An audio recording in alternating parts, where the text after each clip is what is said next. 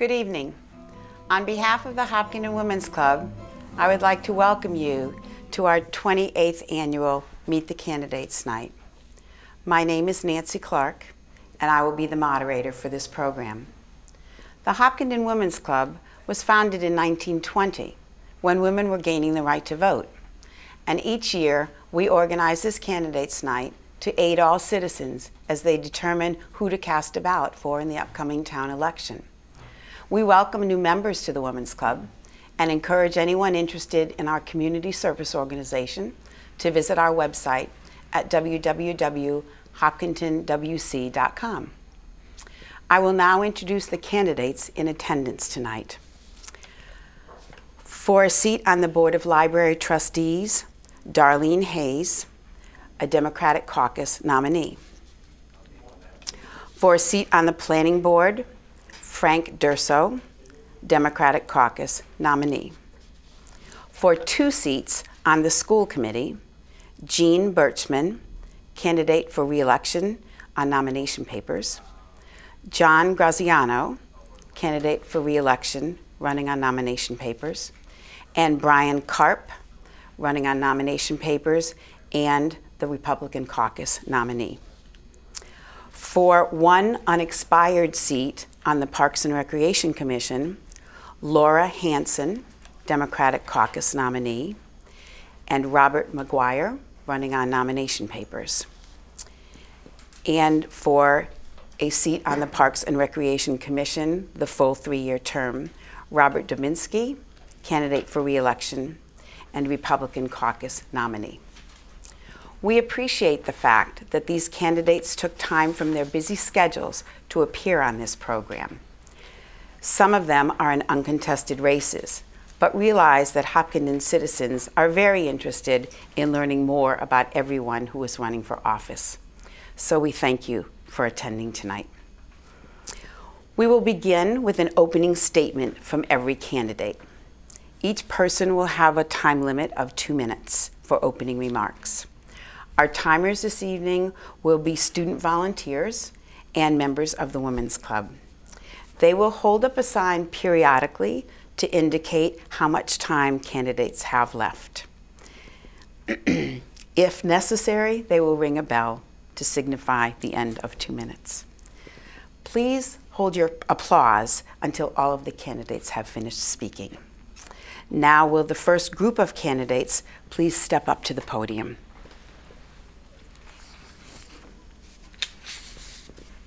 And Darlene, you may begin. Hi, I'm Darlene Hayes, and first I want to thank Nancy, the Women's Club, and HCAM for actually hosting this platform. It's actually pretty incredible that, one, we're live now and out there, but I'm running for um, a position on the Board of Trustees for the library, and look forward to helping bring our library to the, supporting the library into the next millennium and all the new and exciting progress it's going to have. Thank you. Frank Durso, the Planning Board. Thank you, Nancy. I'm Frank Durso. Um, I'm glad to be here. Thank you for the Women's Club for running this. This is the 28th year, which is pretty great. Um, I ran for the planning board five years ago and did not make it, but I want to thank the members of the Board of Selectmen and the planning board that uh, selected me to fill a seat last year. And I want to thank the Democrat Town Committee, Dick Dugan, for uh, nominating me again uh, this year, and uh, thank the, uh, Ken Weismantel, Chairman of the Planning Board, for his excellent leadership. And um, I'm just glad to be here. I also want to thank uh, my, I guess, running mate, Ron, uh, Pat Mahan, for, uh, for running for the planning board, and he'll be a good addition uh, to the board as well. Thank you. Jean Bertschmann, the School Committee. Thank you. I'd like to say first thank you to the Women's Club and to HCAM for the opportunity to be here tonight, and especially to Nancy Clark uh, for her years of facilitation of this important program. And thank you also to Mr. Graziano and Mr. Karp and the many other volunteers who joined me on the panel tonight and are willing to give of their time and talents for the betterment of the town. Our family places a strong value on community service, and consequently, I've held a wide variety of volunteer positions across the town. I've committed thousands of hours of time to volunteering in the schools for the last 18 years, and I'm committed to continuing that same level of engagement. As a result of my years of direct experience in our schools, I've built excellent working relationships within the district and across the town. I've gained an extensive understanding of the operations of our district, top to bottom, and I fully understand the impacts and consequences of the choices that the school committee is tasked with making. I've worked consistently to improve the level of community participation and engagement in the work of the school committee. I've built budgets, executed capital projects, led the charge on two strategic plans, and worked collaboratively with other town leaders. I continue to work diligently to understand the priorities and goals of the community for the solution to the constraints of the center school and have served as a resource for the work of the ESBC. Hopkinton is recognized locally and nationally as an innovative district at the leading edge of education. We have hired a strong educational leader in Dr. McLeod, and I look forward to continuing to supporting her growth and challenging her as she leads us onward and upward. Hopkinton is on the precipice of another period of rapid growth. It's critical that we work together as a community to plan for and manage that growth carefully. I have the experience, institutional knowledge, proven leadership, and dedication necessary to continue to move the district forward. My priority continues to be to provide a high-quality education to all of our students at demonstrable value to the taxpayers, and I would welcome your questions and be proud to earn your vote on May 18th. Thank you. And John Graziano, with the school committee. Thank you, Nancy.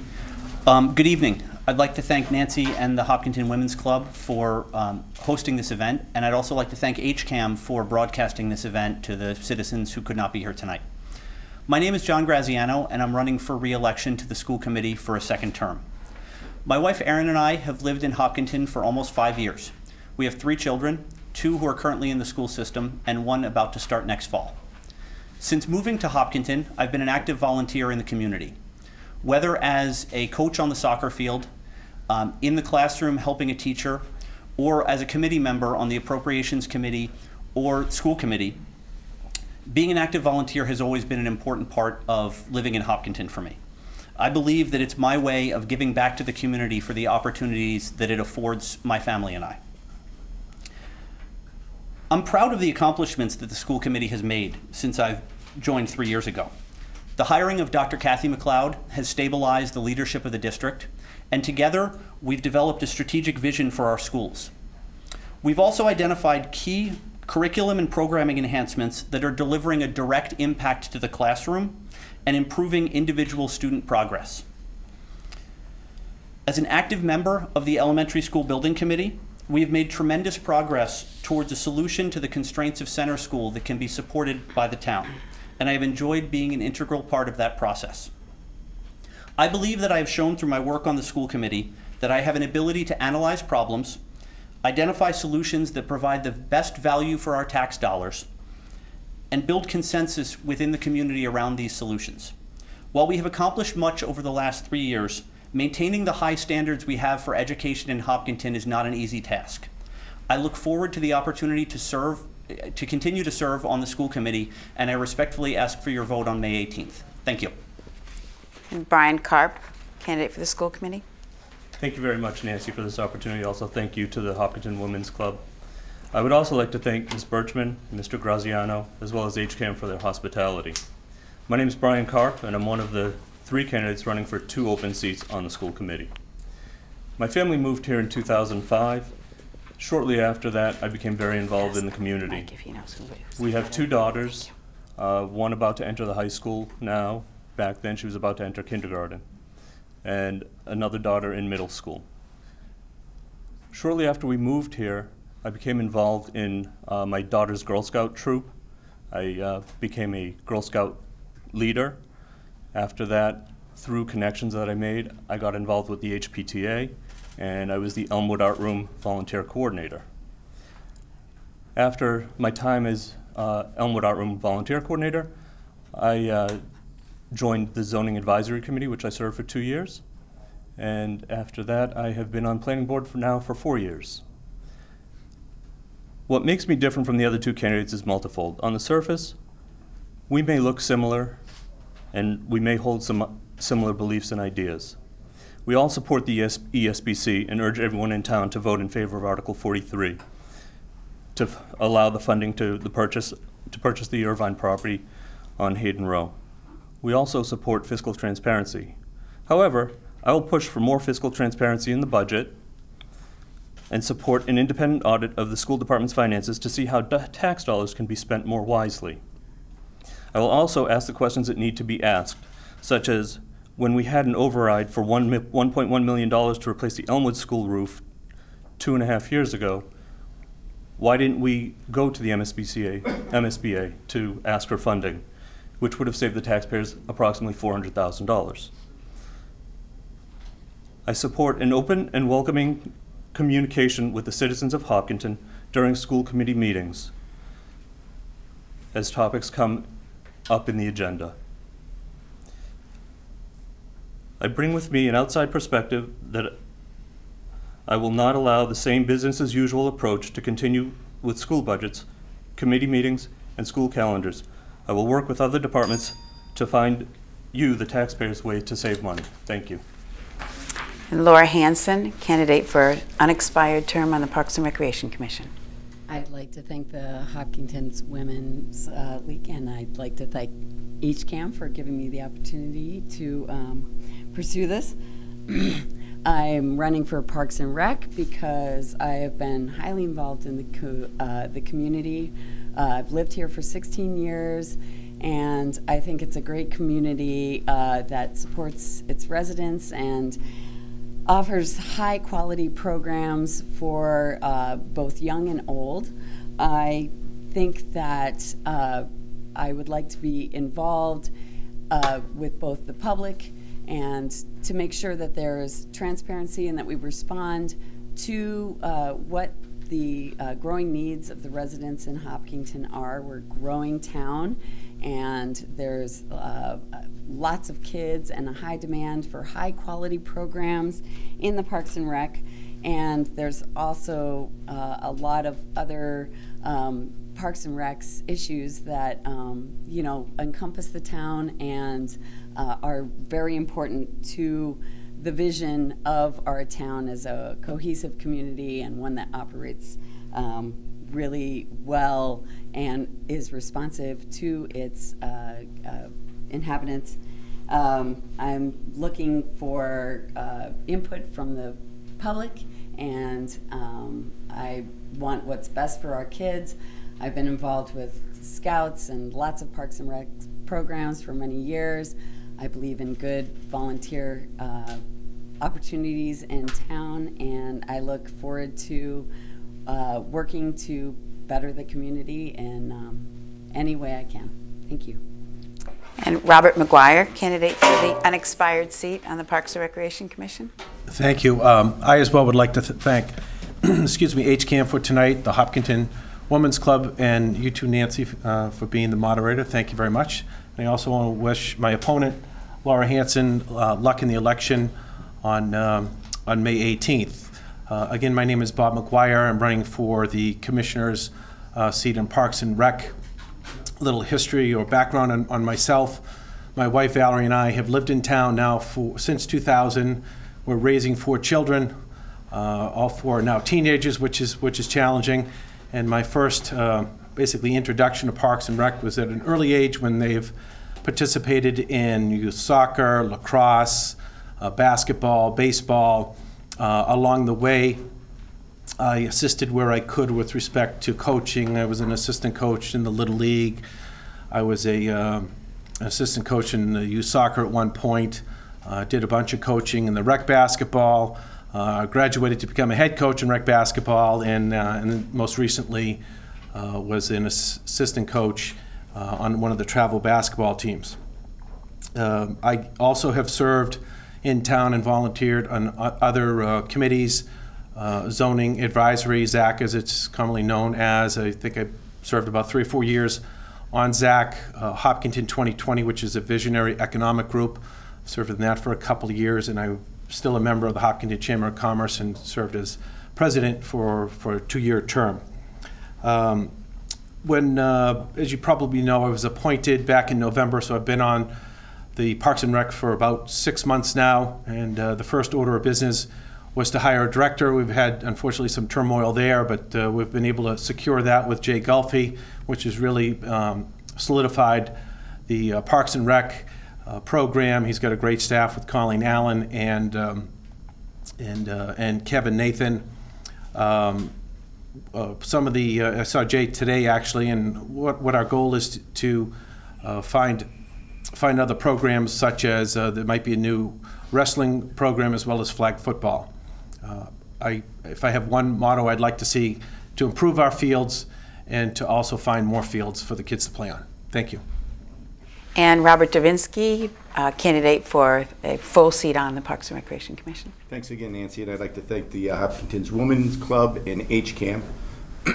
Uh, My wife Gail and I, we've lived in town for almost 30 years. We're the proud parents of five children and experienced many of the benefits of Hopkinton School and Park and Rec programs. Uh, I've been very proud to serve for six years, and this will be my third term on the commission. And I'm very proud of this uh, commission that uh, that I've always served on. Uh, some of our accomplishments, just so the, uh, the audience knows, has been the uh, restoration of the common in the past six years, a very cooperative relationship with Hopkinton Schools, which has led to the use of the residents uh, for the weight room, the, uh, the ice rink, which was a big hit this year, uh, again, a a terrific cooperative uh, initiative along with uh, a growing high school rec basketball program on Sunday mornings. Gets all those young kids out of bed, gets them out on the courts. Some of the other uh, accomplishments have been uh, Hopkinton Youth Football. Girls lacrosse has kind of fallen under some of our guidance, as well as Babe Ruth. Many of you are aware of the Sandy Beach project, which has now completed its second phase, welcoming the third phase. And I'd like to introduce to you an article that'll be on the uh, ballot Monday, which is the expansion of a structure on Fruit Street. Uh, I know I'm gonna be short on time, but this was the original plan for Fruit Street. And many of you have seen that the baseball fields aren't necessarily there, but soccer fields are. So we've enjoyed that property for five years, and there's a safety issue where if inclement weather comes in, there's really not a structure for the kids to go under. Uh, right now, it's an open field, and that's a problem if there's thunderstorms. So we've petitioned CPC funding for a structure in this particular area to be a pavilion. It would accommodate, uh, the structure, as I mentioned, it would accommodate bathrooms, so we can get rid of the outhouses and those ugly storage units. This would be the first phase of a two-phase project that would include restrooms, concessions, storage, and then potentially a multi-use room where we'll be petitioning in the future capital funds for construction. I'd be happy to answer questions at the closing remarks. Thank you. Let's give a round of applause for all the candidates.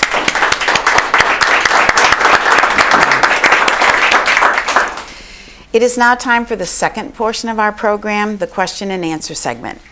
This is the public's opportunity to ask questions of the candidates. For members of the studio audience who desire to ask a question, please step up to the microphone, state your name, address, and ask your question. If you prefer to submit a written question to me, note cards are available on the back table off on my right. Um, in addition, viewers at home can ask questions by dialing the direct call line that you see on your screen or by sending an email to live at hcam.tv. Please remember that if new people are waiting to ask a question or if I am receiving new questions, I will enforce a limit of one question per person. If there's silences and nobody's waiting to ask a question, feel free to ask a second question. Responses from candidates must be kept to a maximum of two minutes. If a question is posed to a specific candidate, I will offer response time to all other candidates running for that office.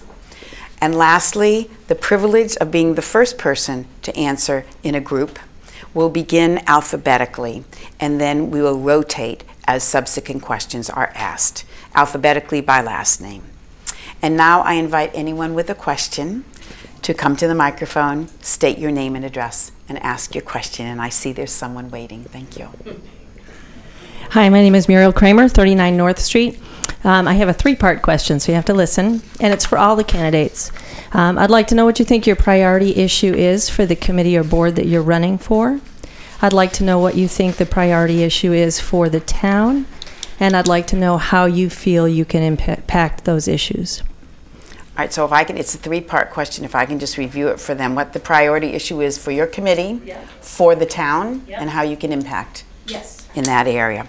All right, and thank you for asking a question that includes everyone. So we'll go in this order. Uh, Darlene Hayes, Library, Board of Library Trustees. So, do you want to prompt me on each part? Uh, My role in, so- uh, is basically to support the efforts moving forward for a new library, for the expansion, and for bringing us to where we need to be for the entire community. So you feel that that's the priority issue for the Yes, committee? and support the efforts that are already there. All right, and how that is a priority for the town? Mm-hmm. How that is a priority, I think that makes us in a area where we're going to have expanded services for, basically from cradle to grave.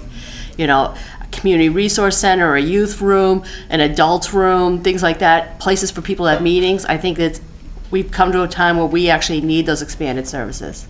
All right, and the third part was what your role will be in that, or how you can contribute? I mean, I think my main role may be, um, a lot is gonna be support and what their efforts are. The other may be in a role that's more my bailiwick and helping with, you know, fundraising and maybe some events.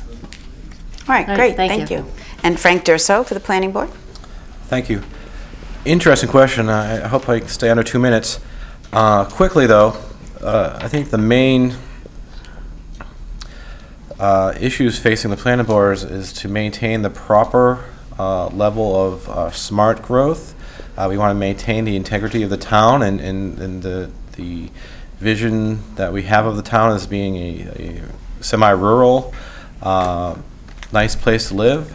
But we also need to increase our commercial tax base. And um, the second part of the question is,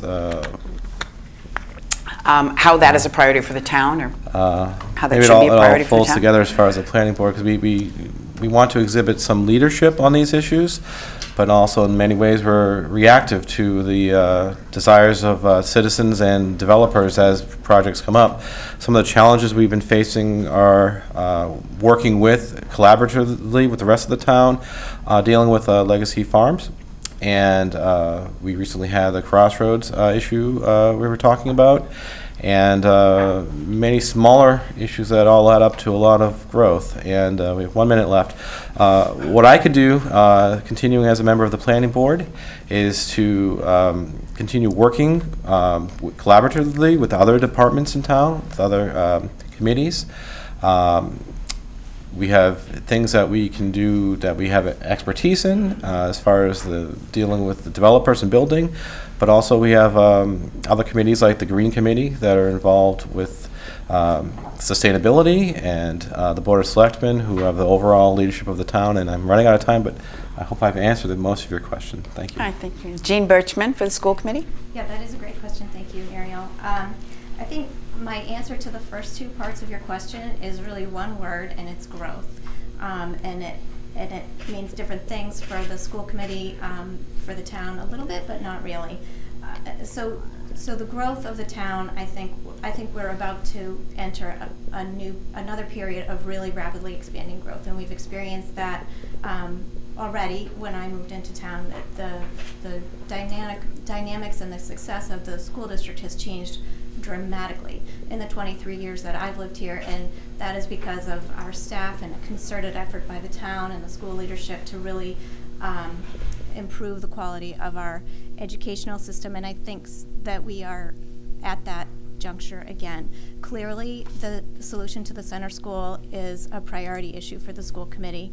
Um, I think that as much as the center school location is a sentimental favorite for all of us, the ESBC has done exhaustive work and really come to what I think is the right conclusion that, that I think Mike um, Shepard said it very nicely that that building has has served the town very well and given us more than we could have asked for. And the right solution is to move um, down the road to the Irvine property.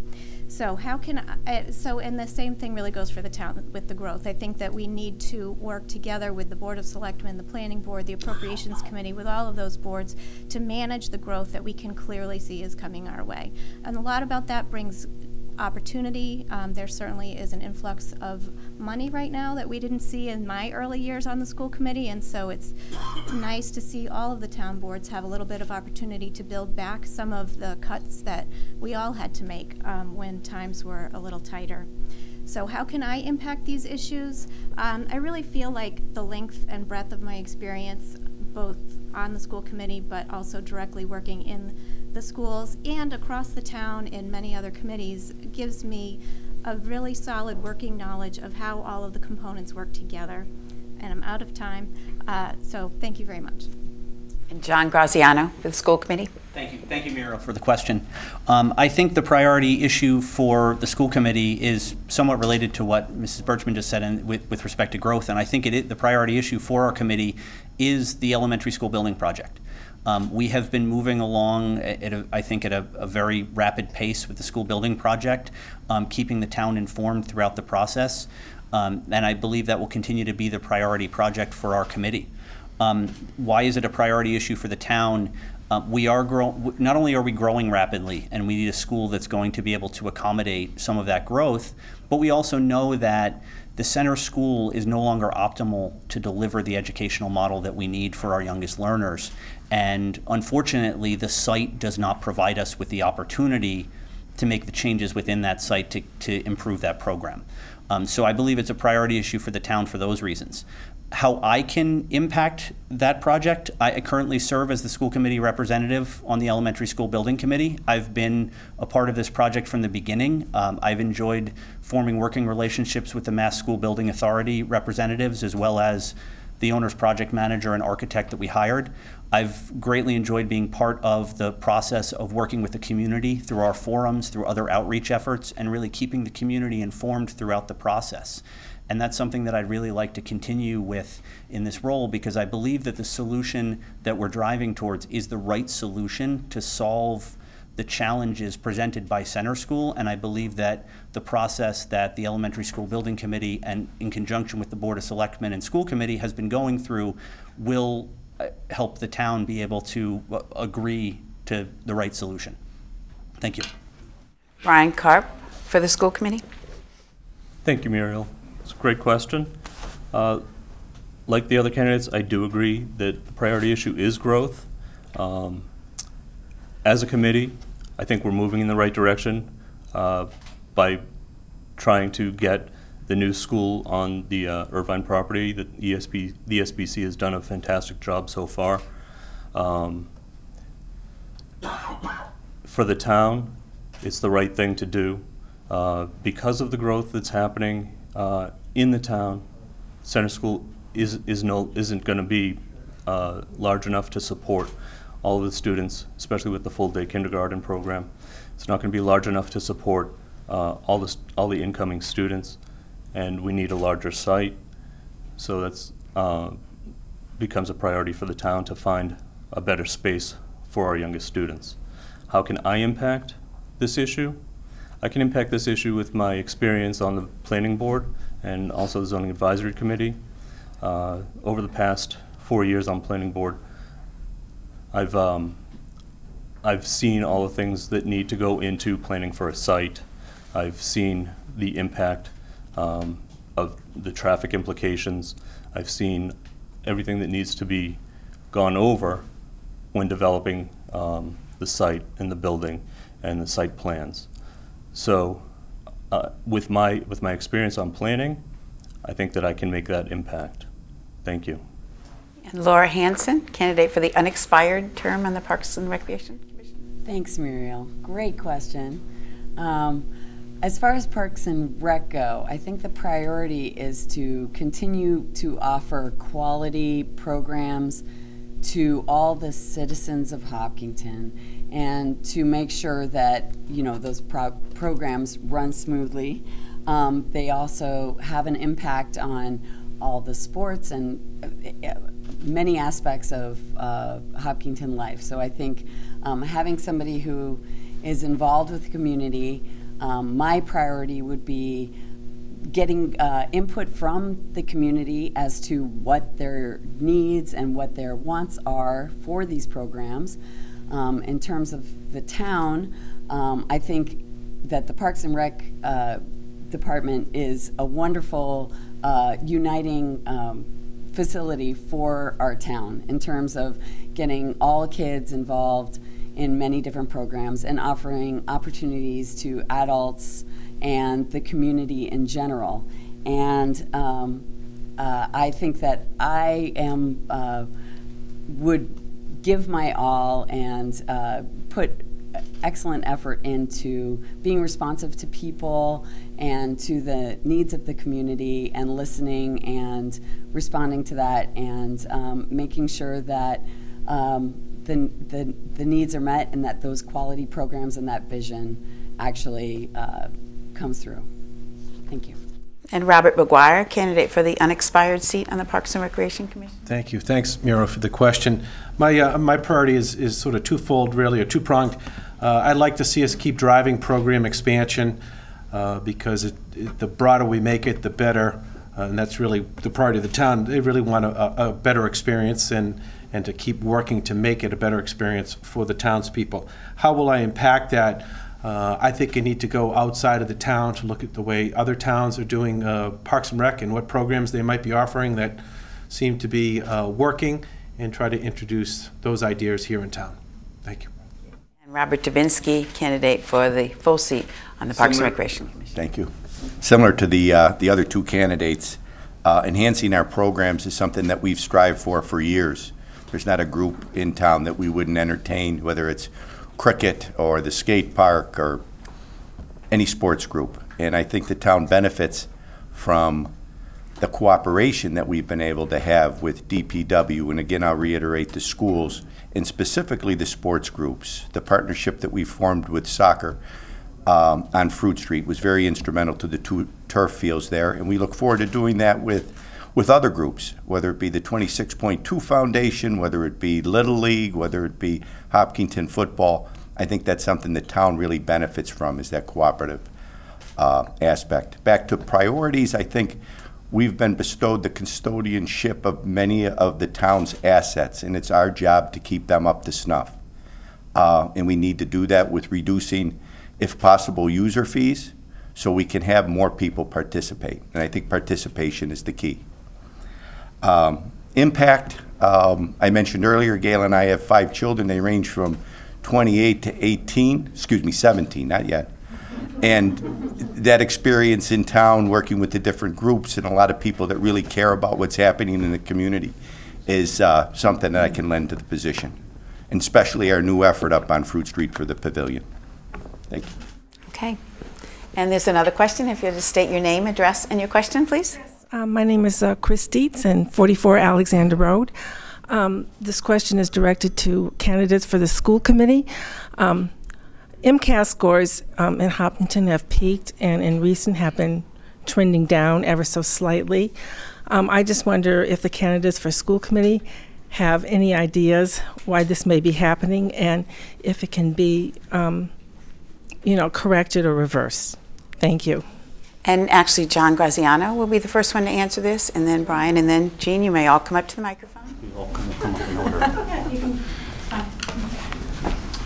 Um, Thank you very much for your question. Um, it- It's true, we've, we've seen the same data. Um, We have seen some uh, reduction in MCAS scores over time. Um, And that has been one of the focus areas for our, um, the recent budgets since we've been, since I've been on the school committee. Um, We've spent a lot of time in partnership with Dr. McLeod and our educational leaders to understand what are the drivers behind the reduction in MCAS scores. Um, and we've targeted our programs specifically at um, the areas where we think we can have the most impact on bringing those scores up. Those scores are only one measure of student growth and progress, but they are certainly a measure, and they, they do provide us valuable data. Um, I think, it, for example, there were two key um, initiatives last year, the full day kindergarten initiative and the co-teaching initiative, that were designed to really work towards um, building up the foundation in the elementary educational areas um, to make sure that we could increase student progress, get students up to the um, increasing standards that those MCAS um, that those MCAS tests are measuring. We've seen great progress already in year one from those two initiatives, and we believe that initiatives such as those um, will have a direct impact on our MCAS scores and, and bring those scores up in the future because we are building that foundation of learning and getting students further ahead at earlier grades before they start um, taking those MCAS tests. And Brian Carp? Thank you very much again for that question. Um, I would say uh, I agree. The MCAS scores it is it is clear MCAS scores have gone down. Um, I think that the school committee has done a decent job of setting a strategic plan and initiating uh, different programs, such as the co-teaching that John had mentioned. Um, I think that it does take a, it will take a little bit more time to see the results uh, of of what's going on to see the MCAS scores increase. Um,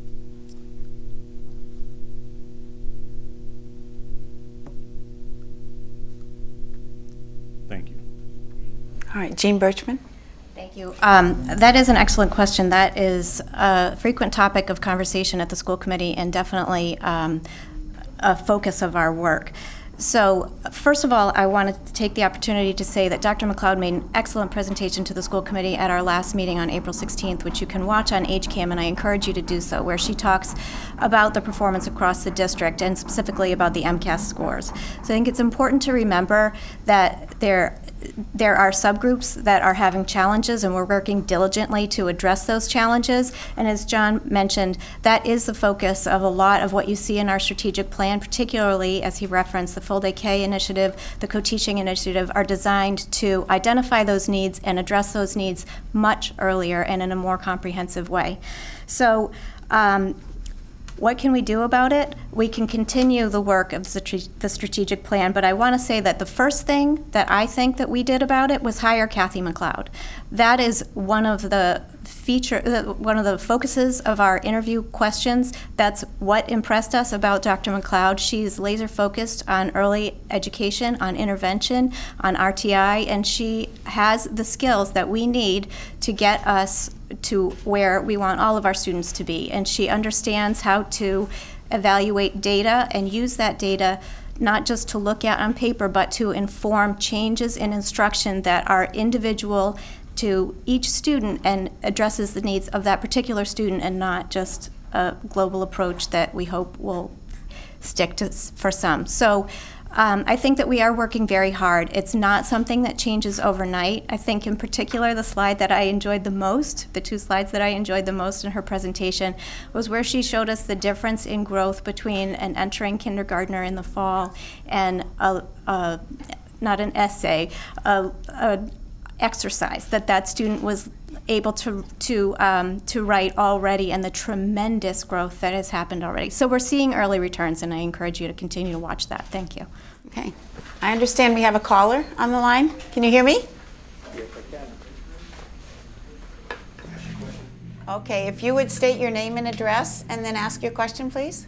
My name is Bob Hebden, and I'm we live at 24 Ash Street in Hopkinton.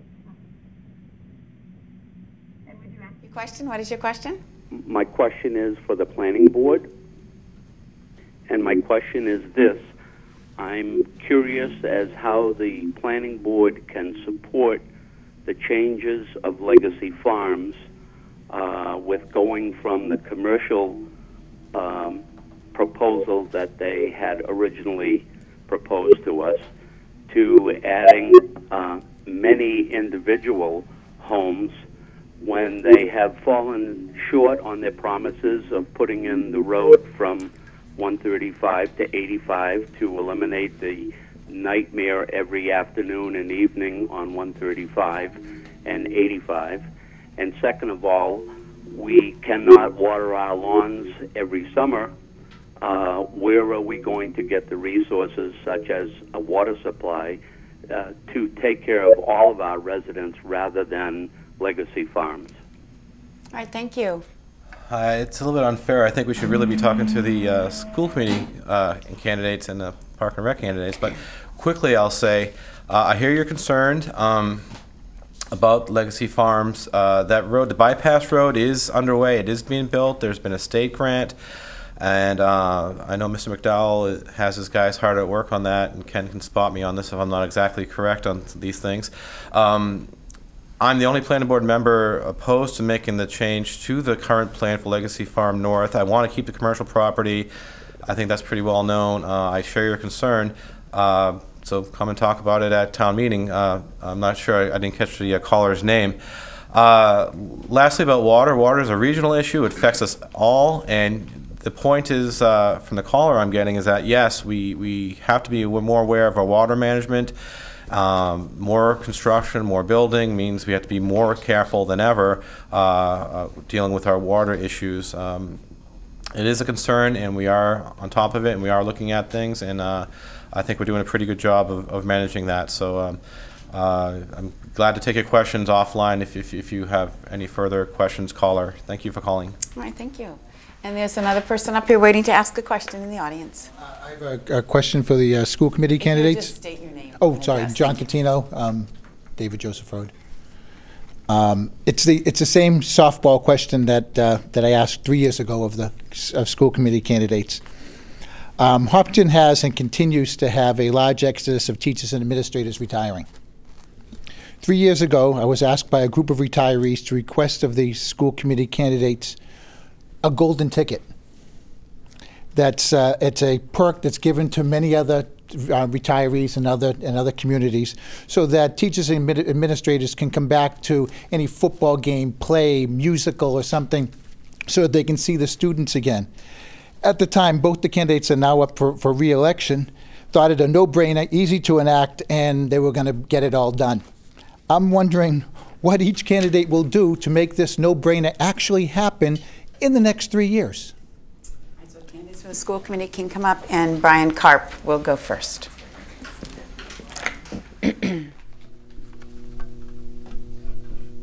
Thank you very much, John, for that question. Um, it does seem like a no-brainer question, and I think it's quite simple. We should allow the retiring teachers to come back and see our their, their former students uh, in the plays, in the sporting events, in in the other concerts, whatever it is that they uh, do want to come and see them and see how they've progressed. Absolutely. Um, why it hasn't been done, I don't know, but I can tell you, if elected to school committee, I will make sure that that does get done. Um, other things that I would like to see done on school committee would be to engage the public in more open conversation during school committee meetings. I'd like to see a lot of things change about the way things are, the way the school, school committee is holding its business. Um, Thank you. Bertschmann? Um, I think I, I know I had the pleasure of answering this question three years ago, so thank you. But I am going to politely correct a couple of things that you said. Um, in fairness to John, he wasn't on the school committee at that time, he was just running. So I am the only person who was on the school committee at the time. And you're right, I did, I actually think that that's a lovely idea. Um, and I did bring it up at the time to the school committee, and there wasn't support actually by the rest of the school committee. So it wasn't that there was a promise and we haven't enacted it. Having said that, absolutely, I think it's um, worth having another conversation. I can't promise you that we're going to take advantage of that because I can't speak for the other four people on the school committee, but I absolutely would encourage you to come and request it at public comment, or certainly we can bring it forward. I'm pretty sure Dr. McLeod is in the audience and she just heard you mention it. So um, I absolutely think it's worth discussing again. I think it's a very nice thank you to our teachers who we know work tremendously hard and are responsible for our student success. So, great suggestion. And John Graziano. So, thank you, John. I do recall the question from three years ago. Um, I, I, I appreciate it, and I'm quite sure that I spoke out in favor of it. Um, in terms of why it hasn't gotten done, um, as Gene said, I think it was brought up before I was actually uh, uh, elected, not making the excuse for that. The excuse would be that some other stuff happened. Um, it, that, but um, I think it's a great idea. I know one of the things I really enjoy about Kenyan Runner Day at the Elmwood School is seeing Mrs. Silver come back um, and getting to reconnect with her. Um, so I think it's a wonderful idea. Um, I support it, and what will I do if reelected to make it happen? Um, is again speak to, to Dr. McLeod, um, make sure that there are no no angles that we're not thinking of in terms of, of what the impact would be. Um, but I think it's a wonderful idea, and I think it's something that we should move forward with as quickly as possible. So, and I encourage you to hold me to it if I'm reelected, as I know you will. And there is another person up at the microphone. Please state your name, address, and your question. Ken Weismantel, 145 Ash Street, school committee people to stay up here. Uh, the now, my question uh, uh, involves the replacement for the center school. Uh, as been stated earlier today, the uh, elementary school building committee is moving along at a very rapid pace. And, you know, we've side, done a site selection, and next week at town meeting, the uh, town meeting voters will probably ratify and at town election ratify that site selection. However, my question involves selling the major project, selling the need for it. You know, th- the last time we tried to replace this building, we had an uh, utter failure and the voters turned it completely down big time. What are each of you going to do differently or proactively this time to go sell it? And do you think that you can sell it between now and a fall town meeting? All right, and Jean Bertschmann will go first. Yeah, thank you, Ken. Thank you for that question. And and again, I'm I'm the culpable one standing up here because I was on the committee at the time that the building project failed.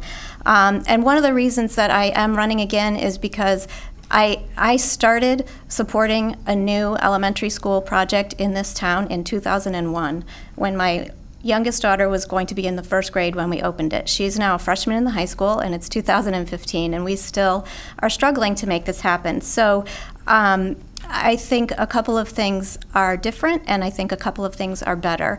I think that this site, which is, is now available to us, offers a lot more flexibility to the town going forward over the next many decades than what the center school site offers because of the constraints of that site. So I think that the site selection is excellent. I think that the design selection firm that we have has done a tremendous job with community engagement, as, as has the ESBC. But um, the forums that they've had have been very successful and garnered a lot of community engagement.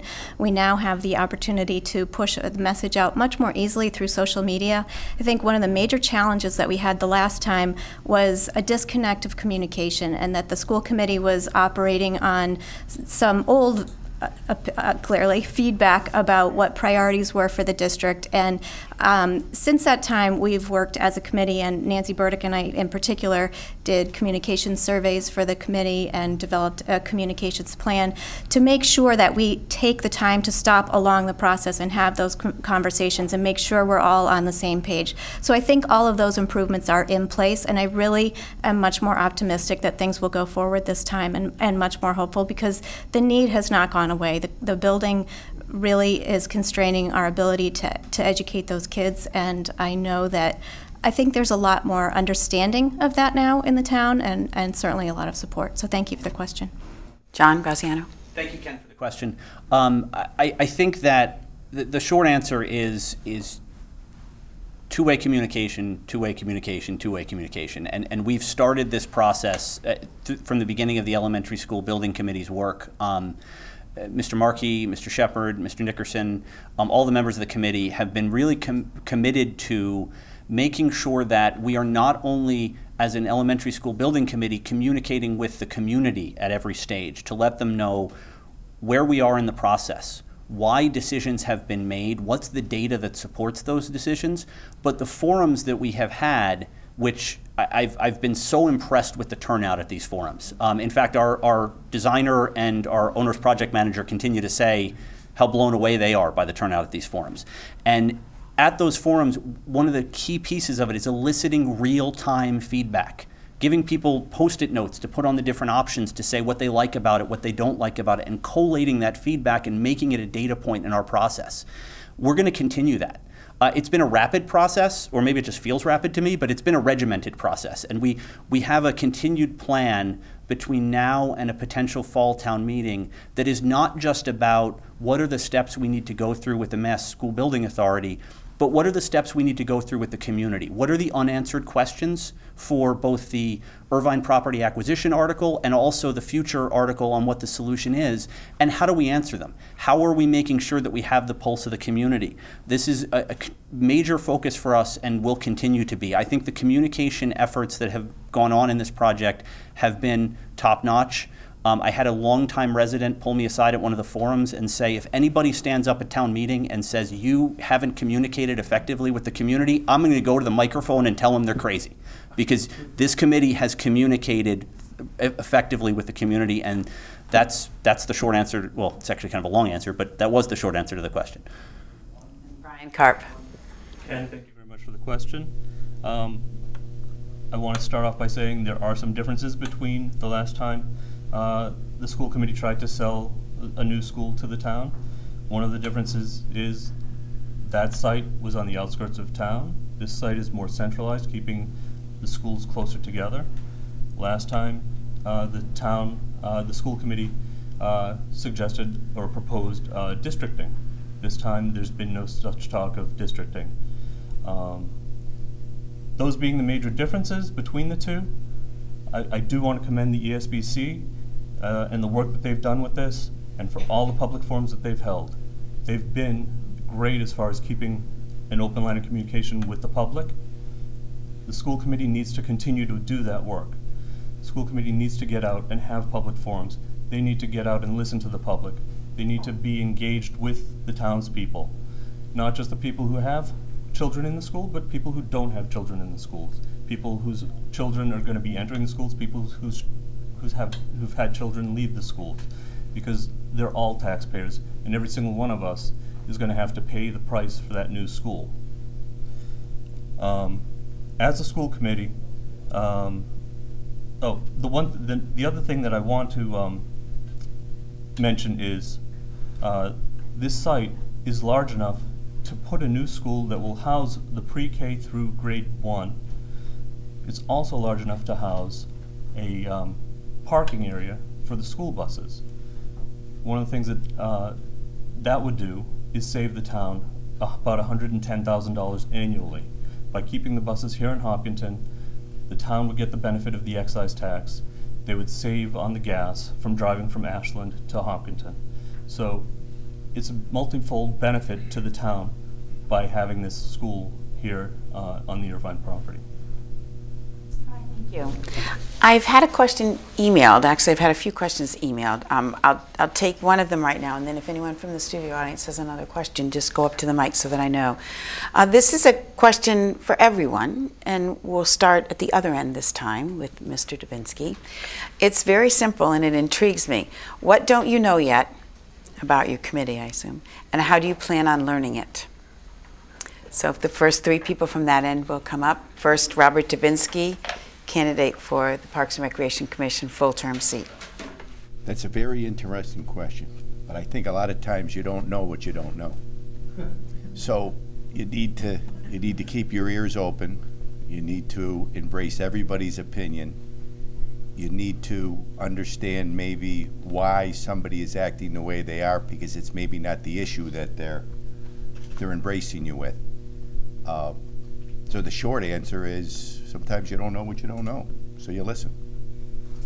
Robert McGuire, candidate for the unexpired seat on the Parks and Recreation Commission. It, it's hard not to take Bob's answer uh, and re, uh, say it once again, but I just uh, keeping our ears open and trying to see what we- what we can learn from other people, and hopefully um, implement it along the way. Hanson, candidate for the unexpired term on the Parks and Rec Commission. Well, being new to this whole uh, process, um, what I don't know is a lot. But um, I am extremely receptive and I'm a fast learner, and I like to listen to everybody's opinions and everybody's input, and I value. Um, I value uh, very diverse opinions and try to find a common ground throughout those. So I'm looking forward to this learning process for sure. And Brian Carp, candidate for the school committee. Thank you. Uh, being the outsider in this race, th- I, I would say I probably know less than my, my opponents. Um, what I don't know, I I will certainly learn pretty quickly. I've learned a lot in the last few weeks by watching school committee meetings, going through notes, going through meetings, uh, agendas, and minutes, um, by talking to people. And that's what I do. I talk to people, I listen to what they have to say, I read, I study, I'm as informed as I can be before I make any kind of a decision. So that's how I would learn by, by listening to people, by reading, by going, by watching video, and thank you. All right, John Graziano. So, um, thank you to whoever emailed in this question. Excuse me, Sorry. I failed to mention that. I was going to do it at the end. Um, It was submitted by Amy Schwartz. Okay, so uh, Amy, thank you for this question. I, I will tell you, the timing of it's interesting because I've spent much of the last week and a half or so getting ready for town meeting.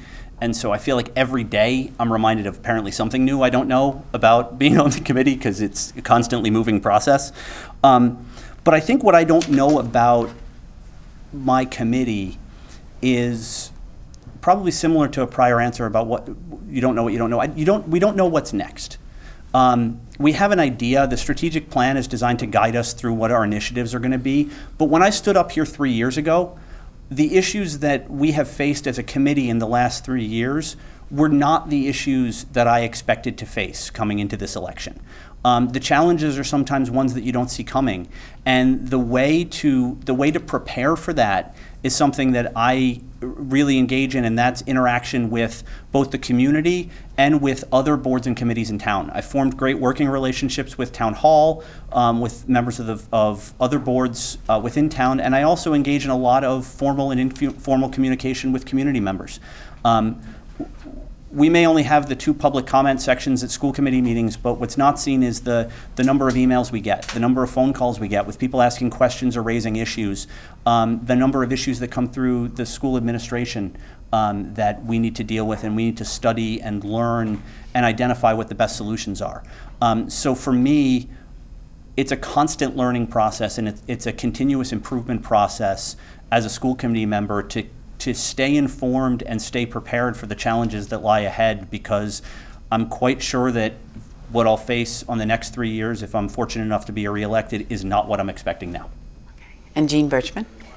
That is a really good question. I think um, I think Ken already fed us a little bit of what do we not know. Uh, how is the community going to react to the next building proposal? Um, I think as even though I've, I'm sort of the dinosaur currently of the school committee and I have been around a long time, I'm continually surprised, as John said, about all of the new things that I'm learning. I've learned a tremendous amount, particularly from our administrators. Um, I think some things that we don't know is what is the Department of Education going to come up with next year or the year after or the year after that? What are the new needs of our students? What are the changing um, instructional techniques, educational technologies, all of those kinds of things that we will be asked to weigh in on. So, how do I find those things out? Um, first of all, I listen to the professional educators that we've hired to do those jobs and to give us those recommendations. But what I have always done and what I will continue to do is just be actively engaged in this community. I do not make it to every single school event, but I go to the vast majority. I don't make it to every town event, but I go to a lot of them. I try to be out and just talk to people and understand what their current concerns are, goals are, hopes are. Um, and I think that that's helpful. In addition, I do a lot of work with other departments in town, and it's given me an opportunity to just make some connections between committees and people that um, that I think have been helpful. So. I, you know, I'll continue to do that. I think, in addition, we've worked hard to create policies on the school committee. I know that public comment is limiting and frustrating for people, but we have additionally a communications policy where we talk about whenever there's a need for a community forum, we like to invite people in to share what their uh, concerns are, their goals are about new programs. Dr. McLeod has, has utilized those quite effectively. So there are a lot of things like that. But uh, the short answer is ask people what they want and what they need and listen to what they have to say. And Frank Durso for the Planning Board. Yes, as one of the newer members of the planning board, there there's much I, I do not know, but I think I have somewhat of a advantage. I haven't been on the conservation commission for four years previous. Um, the motto of the president of my uh, college that I went to for my master's degree was uh, no one knows what we all know. And that means that together we're better and stronger and smarter. And um, hopefully that my, my colleagues on the planning board uh, think that we're a stronger planning board with me on it. Darlene Hayes, Board of Library Trustees. So I think it goes, for me, it starts off that, you know, I'm a user and supporter of the library to, you know, building a more formal role, role is that my first steps were I actually called the executive director and spoke with Ronak, got information and data, and found out what was important to them. Met with, you know, Barbara Beal from the Friends of the Library, and found out what was important to them and asked the questions to know what their platforms are, what their priorities are, so that, you know, I know really what I'm going in formally to support and to make the best library we can for our future. Thanks. All right, thank you. And uh, is anyone else in the studio audience have a question? If not, I will let Ken ask a second question. Ken Weismantel, 145 Ash Street. Uh, This question is for the candidates for Parks and Recreation. Uh, A couple years ago, we in- instituted an enterprise fund for the financing of the Parks and Rec program. I understand with all the bond issues and whatever, that we're running a deficit in that fund. Do you believe that enterprise fund for Parks and Rec programs uh, is really working? Are you wanting to raise uh, fees uh, or, or participation fees to try to cover a deficit? Or do you think the town taxpayers should subsidize the programs like we probably did many years ago? Okay, if the three of you will step up and going alphabetically, we can begin with Bob Davin, Robert Davinsky. Great, uh, great question, Ken. And I think there's uh, been a little misconception on the town's part for our enterprise fund. For I was, uh, I was on the board when we switched over. Um, our subsidy, we do receive some subsidy from the town for our programs, and our main goal is to operate a, a zero-based department. Over the tenure that I've been on the board, we've been able to reduce that year after year. And we should also note that we've established a Fruit Street Fund in anticipation of replacing the turf. So besides the subsidy we get from the town, that fund has approximately, the, we're working out some financial uh, details with the town, but over $100,000 that Parks and Rec will contribute along with soccer's contribution to have those fields replaced in eight years. Again, I'll go back to that's why this, the, this group and this commission wants to make the investment in the pavilion up on the property because we see it as an ongoing uh, resource for the town. Um, just this year, the Fruit Street property generated some $60,000 of additional revenue from groups outside of Hopkinton after we served the groups in Hopkinton, whether it be the sports groups, whether it be the school that needed places to, to practice given the, given the poor spring we had. To answer your question directly, is it a reality that our department runs a zero base on the, on the shoulders of our participants?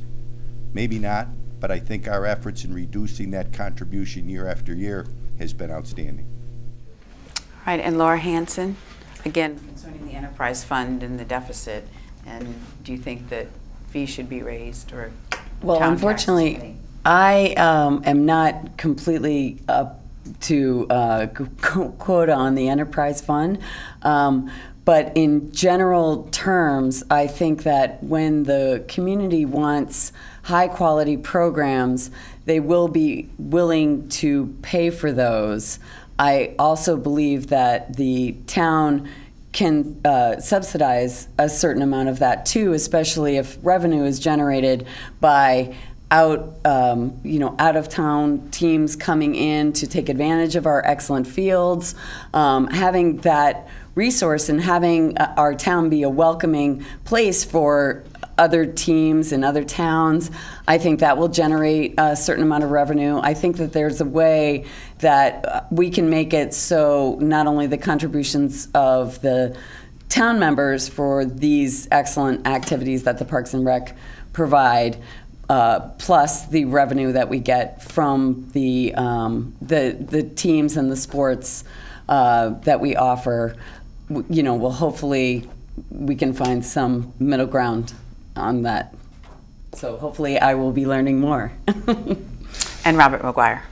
So being a six-month newbie, I'm still trying to get my hands around the enterprise fund. But I, what I, what I can say that Jay Golfi is diving into uh, the enterprise fund and working on budgets to find out where we're, you know, some programs that uh, are being uh, supplemented and, and some and others that aren't. Uh, I don't want to see funds. Uh, excuse me. Um, I don't want to see the town pick up, uh, incur more costs, and the goal is to get to uh, right right to zero and have enough money to pay for all the uh, the programs we offer and continue to find outside ways to rent the fields, similar to what Bob said with some of the soccer programs that use the fields in early early uh, March. All right, thank you.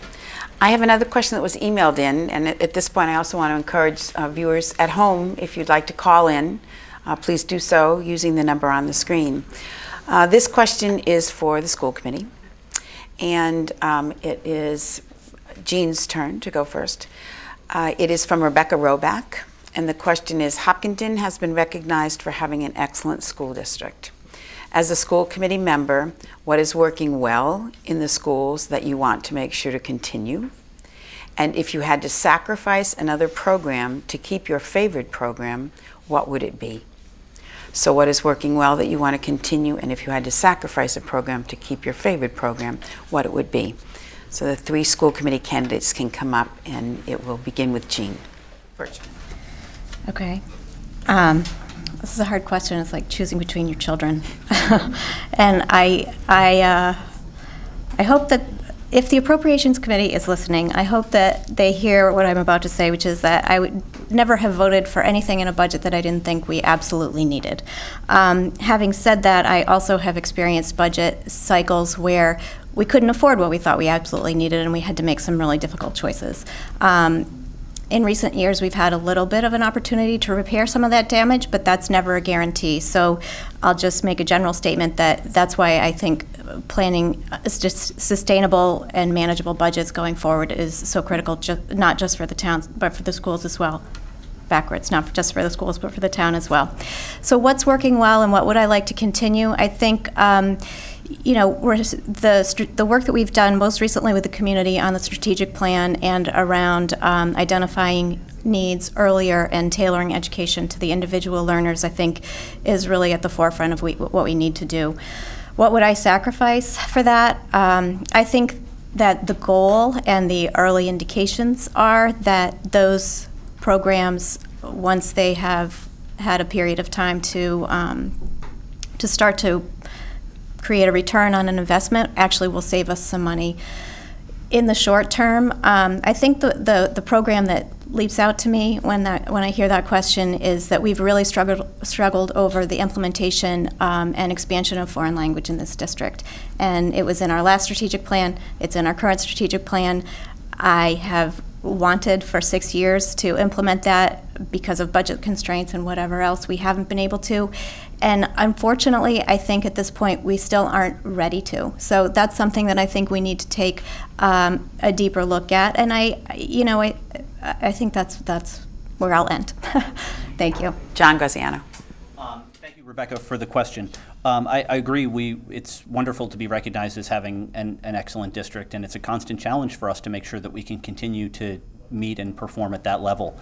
Um, what's working well I think especially in the last year or so, is that um, under the leadership of, of Dr. MacLeod, um, the school district is really able to access and analyze data on the effectiveness of programs and the effectiveness of our instructional model and communicate with the community about that effectiveness in ways that we haven't before. Um, I think that we're able to draw conclusions that allow us to back up our, our budget asks um, for these programs. And sort of moving, so in terms of what would I sacrifice, um, I don't have a, a, specific answer of a program. It's a really tough question to answer um, at this moment. But what I would say is the data analysis that, that we're able to access um, now that Dr. MacLeod is, is providing to us um, to make some of these decisions, I think allow us to look look really hard at what programs aren't delivering the instructional value? What programs are no longer as effective as maybe they once were? And while they may have been sort of a sacred cow in the past in terms of, of the instructional model, the data tells us that they're not being effective so that it's time to look at it differently. Um, so I would say that programs that I would look to cut would be anything that is no longer effectively delivering um, student instruction or, uh, or can be effectively tied to student progress. All right, and Brian Carp.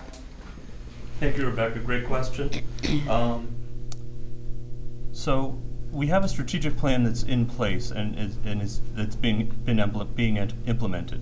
I give a lot of kudos to Dr. to Dr. MacLeod and her team. Uh, it's going to take some time to see some change, uh, but the but the changes will come. Um, what's working well? A lot of things in the school are working, and the schools are working well.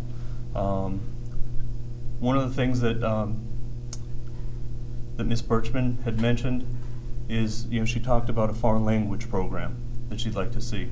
This is something that the school committee just cut uh, just a few a few weeks ago, or month months ago. Um, if we're going to grow as global citizens, which is what our our strategic plan says, then we need to implement a, a foreign language program to extend past down past the seventh grade uh, into the elementary level. Um, things that I would like to see cut, I'd like to see uh, a lot of the busy work that the teachers are giving our students. Some of the, some of our students um, are accelerated, and the teachers don't know what to do with them, and they give them busy work to keep them busy. They're not learning. They're not. They're not uh, getting the instruction that they need, and I think that's something that needs to be changed. And I'd like to see the busy work cut. Thank you. All right, thank you. There's someone at the microphone again who wants to ask a question of the school committee. Save you the up and down. Uh, Muriel Kramer, 39 North Street. Um, understanding uh, this year in particular, but every year, we're facing, as a town, an awful lot of budget pressures. We have the elementary school building coming, um, and I totally support that, and and uh, and I stand prepared to work to see that be a success. So this isn't a question about um, whether these are priorities. I think that they're all priorities. So we have uh, a DPW facility. Um, you know, it would be nice to have a DPW facility. Um, what they have now just can't even be called that, you know. Um, so my question to you as school committee members, um, facing all these budget priorities and understanding that you have the lion's share of the town's budget, what do you see is your responsibility as school committee members, not to protect your priorities, but to balance and protect the priorities of the whole town? All right, and the first responder will be John Graziano. Thank you, Muriel. Um, so I think, I think it's a great question because you're right. Every year we're facing uh, very difficult budget decisions, not just within the school district, but within the town. There are initiatives that I know the Board of Selectmen, the Appropriation Committee have struggled with, just as we struggled with some decisions around specific programs. Um, I believe that our responsibility to the town as a school committee is to work collaboratively with other town boards, with town hall, with um, with the, the citizens to look, to look at what are our town-wide priorities. It's true that the school budget represents the, the majority of the overall town budget. Um, but some steps that we have taken to increase that collaboration, um, we've actually adjusted our, our budget process this past year. And one of the reasons that we adjusted this, the budget process is to allow us to have a better, more thorough communication with the town so that we could understand as we were developing a budget and we were heading towards a percentage, being in communication with the town manager to understand what did the financial picture look like. Were we going to be unknowingly putting additional pressure on the town to have to balance school asks versus town asks? That's not fair to the citizens, and, and it's our responsibility as elected officials to make sure that we can bring forward the most responsible overall town budget. I, for one, actually um, like the fact that at town meeting, it's no longer a school budget and a rest of the town budget. It's one town budget, and I think what we've worked to do over the past couple of years in, is increase collaboration with the town to make sure that we could understand the priorities of the town and the financial pressures of the town so that it, we weren't operating our budget in a vacuum and could underst- and could deliver the most responsible overall budget to the town. And Brian Carp. Muriel, thank you for the question. You're absolutely right. The DPW facility is deplorable. It needs it needs to uh, be rectified. There's no way that they should be working out of two different stations, two different places, and it's inefficient and it's not acceptable. Um, as far as budget priorities, in order to try to get more cash so that the town has money to spend other places, I'd like to change the way that the school budget is created. I think the fixed portion of the school budget is way too high. Um, you know, when, when we look at a fixed and a fixed budget that, that is that high, we need to find out why. And we need to uh, rein in um, that fixed budget portion of the school budget so that we have money to spend in other, other parts of the budget for the school committee and also for the town. And Jean Bertschmann. Yeah, thank you. That's a, that's a great question, and I'll start with my favorite word of the night, again, growth. Um, I think that, you know, what, what you're referencing, what we're seeing is the impact of, again, a lot of growth. We- There are a lot of needs um, across the town for different departments, not just the school department. Certainly, that's what we are tasked with prioritizing, but it's important to work collabora- co- collaboratively with all of our partners across the town. Um, I do feel like we could make improvements, and I hope that we will working with town hall as far as sharing information. We do sometimes feel, because we do our budget process in advance of theirs a bit, that, that we're operating in a bit of a vacuum and we don't want to, it's not our place to prioritize our needs over the other needs, but if we're not aware at the time of what they are, it's difficult for us to make an informed decision. Um, and so I think working together collaboratively to improve that communication um, has is an important goal. Um, there have been some attempts to do things like that, like the capital asset management program that we've that we've worked on collaboratively. So I think there are steps in the right direction. I just think that there's definitely more work that needs to be done.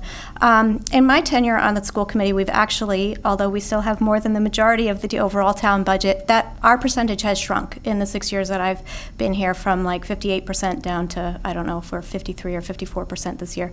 So is it a giant difference? No, but we are being very careful. We are looking very closely at budgets. Um, we have tasked Dr. MacLeod and our newly hired SPED director with doing what we refer to as a forensic analysis of what are we doing that we don't need to be doing anymore? How can we reallocate the resources that we already have rather than asking for new resources? And we need to continue to do that. And I think, as John mentioned, the data that we continue to have available to us is improving our ability to, to make those things happen.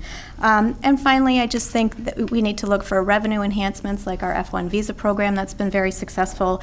And we're coming up on the charter review, so that's a good conversation to have with the town about how are we all working together. So thank you. All right, thank you. I'm going to let the school committee sit down, probably briefly only, but I have a, a few questions, and many of them would be repetitive, but um, from high school students, from some groups of students, and one is actually for the Board of Library Trustees.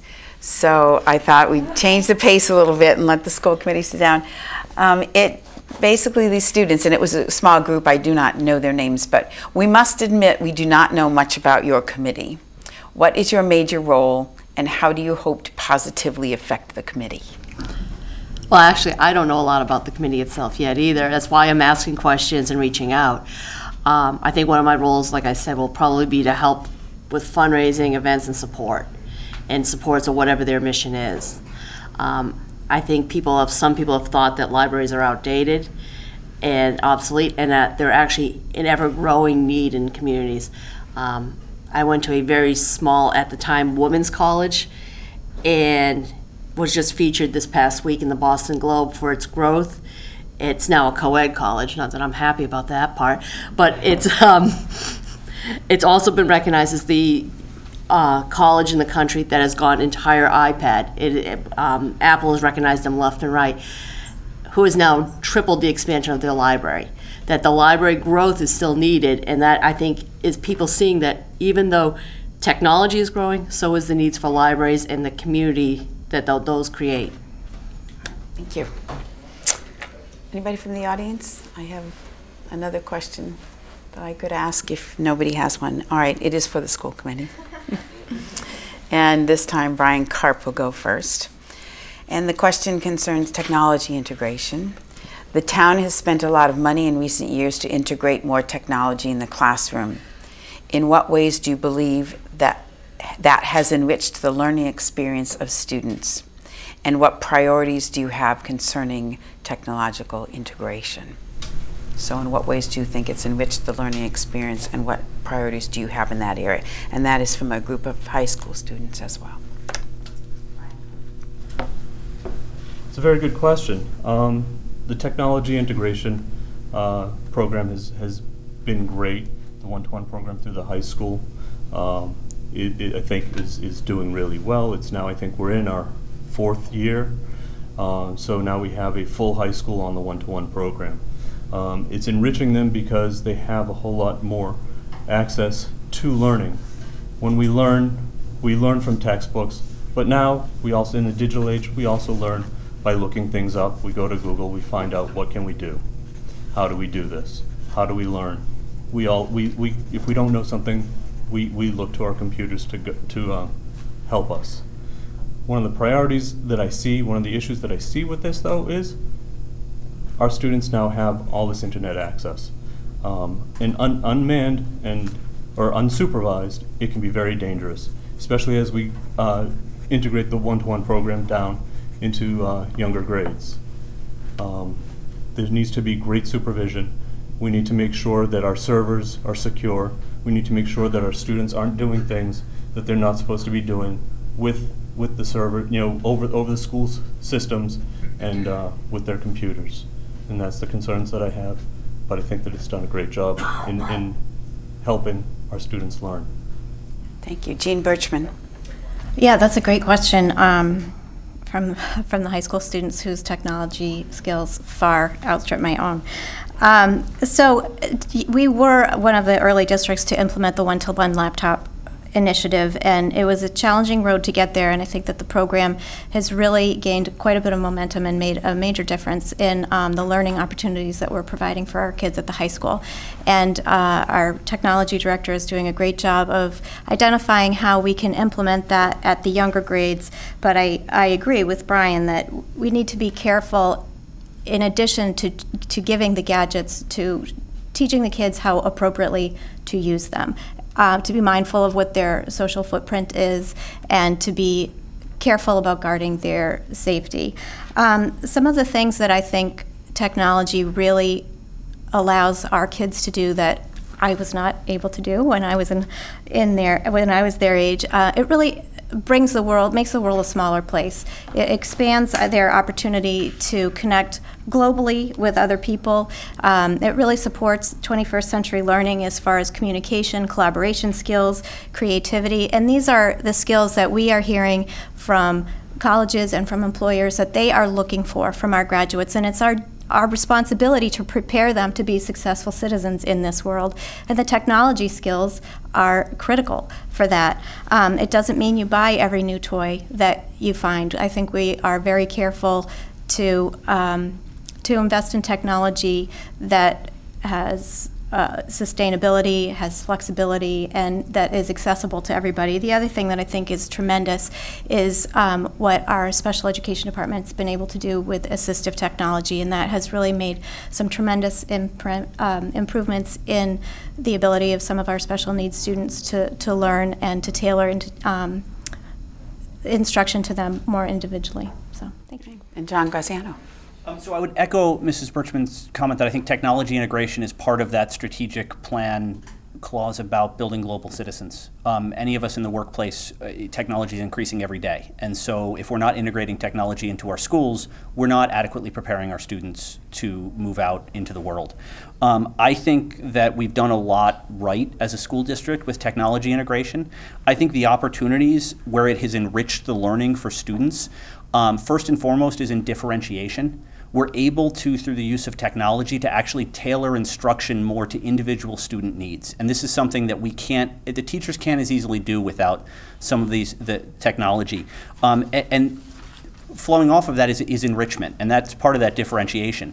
Um, I know that I see my children come home and have access to online resources that not only are helping with the skills, enrich the skills that they're developing um, through the curriculum, but they're also measuring their progress so that teachers can understand by looking at those online enrichment resources is a student rising in their reading level? They may not be at the same reading level as the other children in their grade level, but are they making progress? And technology allows us to not only measure that, but again, differentiate that learning. Um, and then collaboration and ease of doing work. I have a fourth grader who has access, who has, like all other fourth graders, has a Google account through the schools. Um, she can do work collaboratively on group projects with classmates already um, in, term, in terms of sharing versions of presentations that they're making to their class. Um, priorities for me are professional development. I do think the one-to-one laptop initiative has been great for the high school. The one thing that we hear, um, if there's a development opportunity, it's that teachers want more development around how to effectively utilize that one-to-one program in schools. How can they get the most out of it? And so I think our responsibility as well, the administration's responsibility as well as our responsibility as a school committee is to ensure that the instructors have the tools to get the most out of that technology. Thank you. All right, thank you. Is another question? Uh, Muriel Kramer, 39 North Street. I'm sorry, I, have, I was spurred on because of that last question. It's a follow up to this question. Um, so I have six children uh, ranging in age from 28 to 13, almost 14. Um, so I've seen this great shift firsthand, um, and I would agree with you that there have been a lot of advantages. Um, I have recently gone back to graduate school. And an interesting thing happened to me in two of my classes. I've taken four classes. In two of my classes, laptops are not allowed because they are interfering with interaction and education. So, philosophically, where is the balance and how do we strike it? And Jean Bertschmann would go first. Okay. Um, I think that's a great point, and I, I, will say I have two children in college. I guess they're adults. Um, in college. And, you know, when we first started talking about the one to one initiative, there was a lot of pressure. Well, they're going to be taking online courses in college. And that hasn't been the experience of my kids. They absolutely have used technology to a greater degree um, than they did in high school, and then certainly we all did in high school, but they haven't taken online courses. And I, I think I'm very interested to hear that they're sort of a, a lap, a lids down. That's what they say at the high school, right? Um, course. So I think that that really um, that gets to what I was saying before about learning, teaching the kids how to use it for their instruction and for their learning.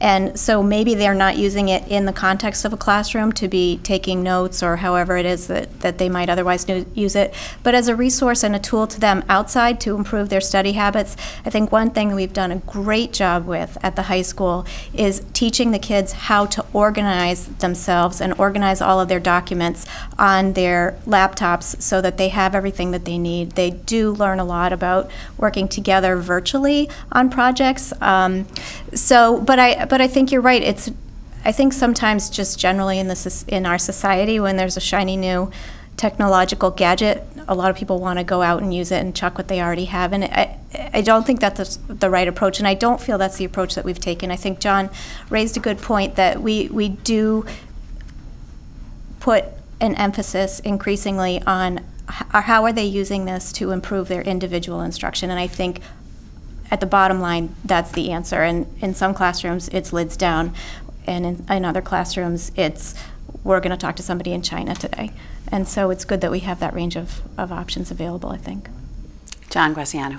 So if I can make a correlation to the, the workplace, um, my department has recently banned laptops from our team meetings. And the reason they have is because the laptops aren't enhancing the experience, they're detracting from it. We're multitasking, we're checking email, we're um, you know, dealing with issues that are occurring outside of the meeting, and it's distracting our focus from the topics being driven by the people in the room. And that's an ineffective use of technology. It's a, it's, it's a, again, it's a detraction. Um, so to me, it's about the instructors finding that balance between is what I'm doing in the classroom with the students enhanced by the use of the device? Is it not enhanced by the use of the device? Would the device detract from it? And I think the more tools, I'm going to come back to that professional development piece, the more tools we can give teachers about how to manage a classroom in a one to one environment. Um, they, they've only been doing this for a few years at most. Um, how can they get the most out of those devices and how can they effectively create the boundaries where the devices or whatever technology they're utilizing are a distraction or a detraction from the instruction that they're delivering. Um, so I, I think that also comes with measuring the effectiveness of, of the use. So are we getting results out of um, out of this technology? So are we seeing these enrichment programs I talked about? Are we actually seeing students grow along um, their learning curve as a result of them? Um, or are they substituting for something else, some in-person instruction that would be of better value? And Brian Karp. Um, it's a very fine line to balance to balance those two. Um, the technology allows for um, a lot more communication op openly, globally, uh, with other members in your in your team. In a classroom, if the teacher, if the, if that's what the teacher uh, is deciding to do, they, you know, we need to be aware that that that the uh, when the computers are up, that's that that's what they're doing, because when the computers are up, there's not always going to be um, learning, like like was said, you know, people can multitask. Lids down, you know, as, as Gene had said, in the, the term they use in the high school, allows for that interpersonal interaction. It allows for that one-to-one so that you know that the student is engaged because they see what the teacher can see what the student, what, where the student's eyes are and what they're doing. You know, when, when the computer is open, you hope that they're taking notes and they should be taking notes. You hope they're doing what they're supposed to be doing. You hope that they're learning the way that they should be. Um, so it is a fine line. Thank you. Right, and if you'll stay up there one more time, I do have one more question that was emailed in. It is for the school committee, and I'd like to ask it. Part of it may be similar to something you've answered already, but I think it has a, a new point. So um, if you would bear with me, and then after this, I think we'll do the, the closing remarks. Um, this question was emailed in by Danielle Owens, and it concerns the elementary school building. The question is, all three candidates have stated their involvement with the elementary school building committee's efforts to solve the problems at Center School. What specifically has each candidate done to support the efforts? And what do they think are the biggest challenges ahead for the project? So what specifically have you done to support the efforts? And if you have anything else to say about the challenges, which I think has been covered a little bit already. And um, John Graziano. Oh, um, so what specifically have I done? Um, so I've been a member of the, I've been the school committee representative on the elementary school building committee since it was put together. Um, so I have been involved in, at every step of the process from uh, community engagement to the um, hiring of the owner's project manager and designer to um, the, the data analysis that led to our preferred solution um, that will be that, that will drive the, the town meeting article next week. Um, so my involvement at this point has been heavy. Um, I have I have collaborated directly with the Mass School Building Authority to understand their process, understand how we can stay either in at pace with, or in, if we can, a little bit ahead of their process.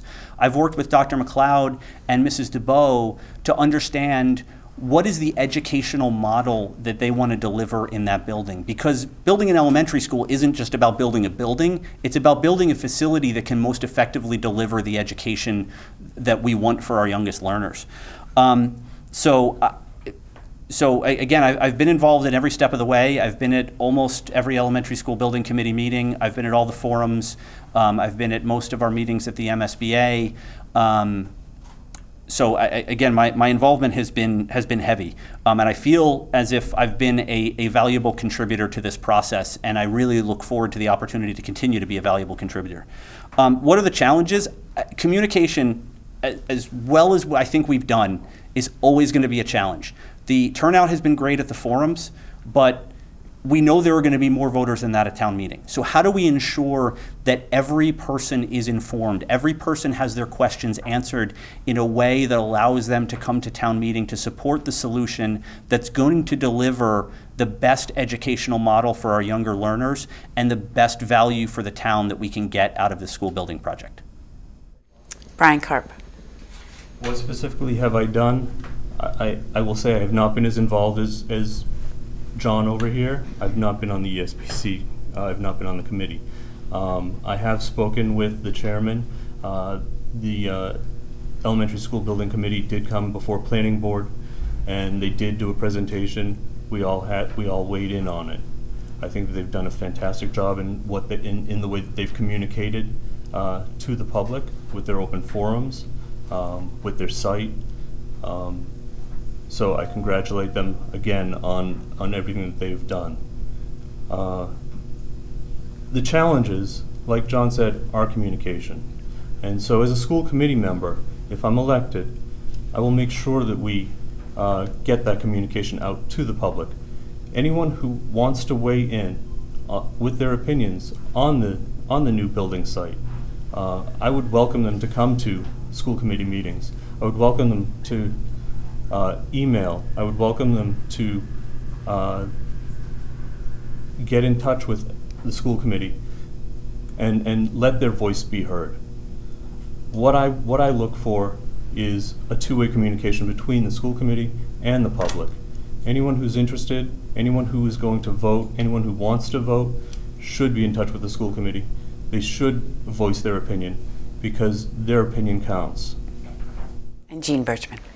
Thank you. Um, So what what specifically have I done to be involved with the E ESBC? First, I would say that I was involved um, extensively in the groundwork that led to the forming of this current version of the E ESBC. Again, unfortunately, I was on the committee when the former building project did not pass, and the committee um, worked very very hard to listen to the community. We did surveys, we had forums, um, we created a roadmap of all of the MSBA modules and inserted um, stopping points along the way where we would have community forums. We worked together to craft um, the the um, the actual structure of the building committee itself. We worked on identifying the people that would fill that job, and I think we've got a great group of people. They're working tremendously hard.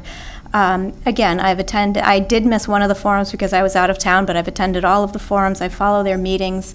Um, certainly, we have a report. John gives us a report every meeting, and um, ask a lot of questions. I think, in particular, what I've been able to do positive and negative, is provide the, the institutional history of what went wrong the last time and how we can do better the next time, and we must do better.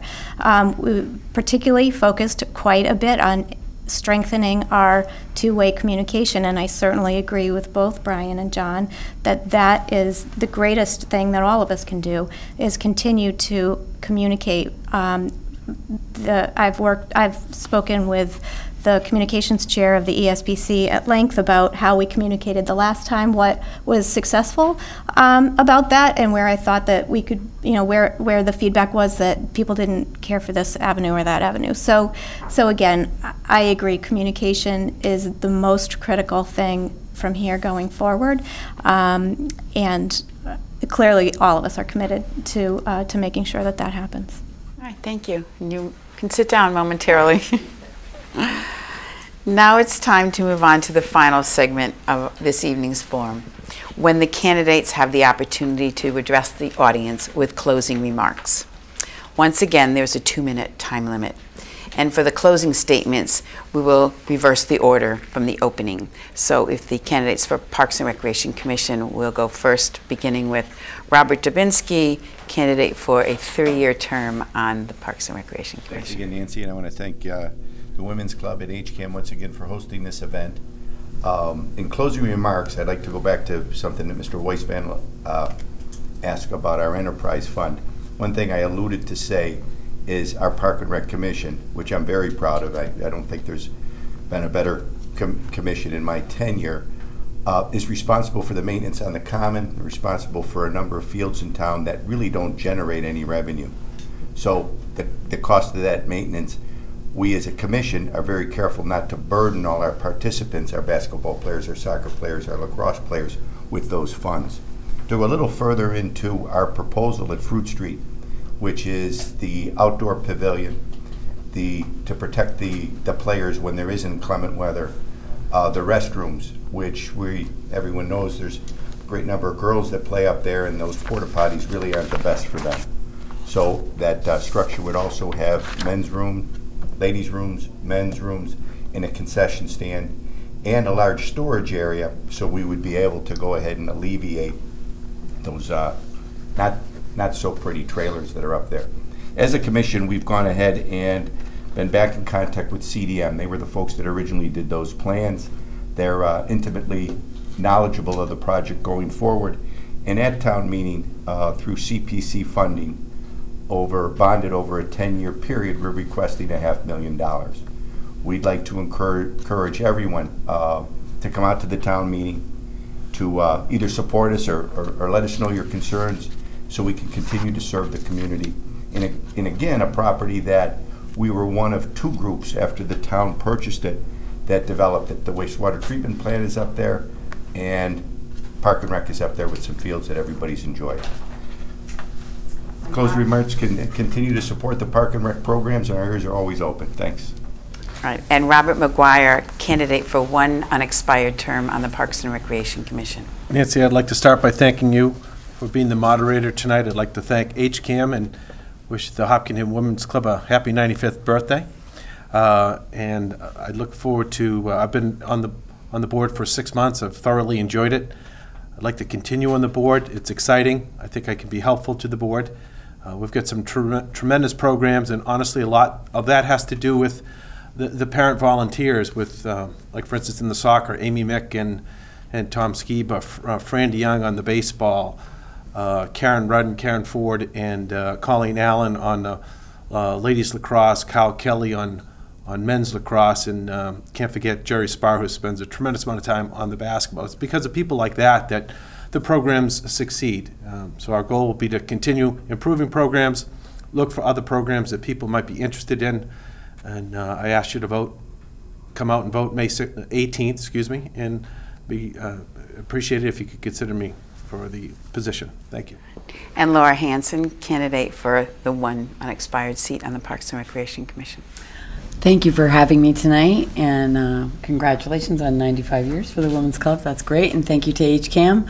Um, I'm delighted to have this opportunity to participate in my community's uh, politics, and I'm learning a lot, and I think I bring a fresh uh, approach to uh, things where I'm very receptive to community input. Um, I realize how important it is to have parental support and guidance in the direction of the planning of the uh, Parks and Recs goals and visions. Um, I think they do amazing things for this community, uh, not only with sports, but with the community and the town in general for all ages. And uh, I would be honored to be a part of that process, and I will look forward to serve uh, the interests of the community as best I can. Thank you. Brian Karp, candidate for school committee. Thank you, Nancy, and the Women's Hopkinton Women's Club. I'd also like to thank uh, Ms. Bertschmann and Mr. Mr. Graziano, the people here at HCAM, as well as the residents of Hopkinton who are here in the studio, and those at home watching on TV or online. There's been a lot of coverage recently about the effects of stress on teenagers and students. We've done a great job in high school with our de-stress weeks. But why are we not vetting our policies, training, and programs before they're being implemented? I will work for families to make sure that the traditional holidays are returned to the calendar as days off. Hopkinton is a multifaceted community, and by removing those holidays, there, the school committee has excluded a, a certain um, a, a selection a section of our community from being able to participate in school. They've created stress for these students. They've created stress for these families. The students need to determine whether they go to school and miss out on celebrating their hol- their holiday with their families, or that, do they celebrate their holiday with their families and miss out on schoolwork. As uh, another another thing, uh, a parent of a middle schooler told me that when their child uh, asked their teacher for help recovering a saved project on, on a computer with this one-to-one program, um, which was valued as a, this project was valued as a test grade, the student was redirected to another teacher because their teacher didn't know how to help them. The, stu- the student was actually redirected to three different teachers. They also sought out help from other students. It was never recovered, and it caused them to have to perform live, creating another form of stress on the student and on the family.